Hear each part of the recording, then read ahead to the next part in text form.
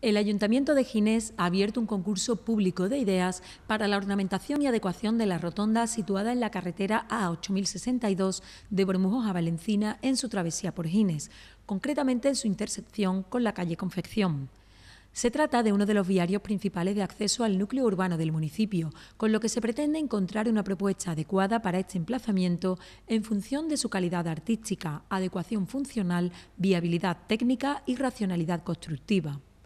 Para ello se abre este concurso de ideas con carácter anónimo y público en el que podrán tomar parte todas aquellas personas interesadas que cumplan con los requisitos establecidos en las bases.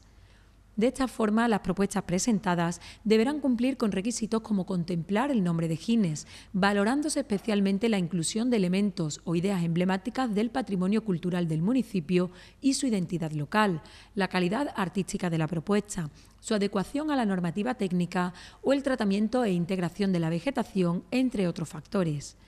De todas las ideas que se reciban, el jurado constituido a tal efecto podrá seleccionar un mínimo de dos y un máximo de tres propuestas finalistas, estableciéndose a continuación un periodo de votación pública entre estas, donde sea la ciudadanía quien decida finalmente la ganadora.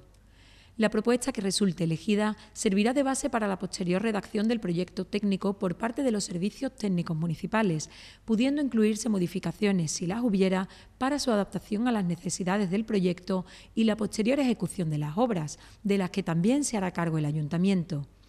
El plazo de entrega de propuestas y del resto de documentación exigida en las fases será del 20 de marzo al 20 de junio, ambos días inclusives, en horario de 9 a 2 en la Oficina Técnica Municipal, ubicada en la calle Colón, número 2, planta primera.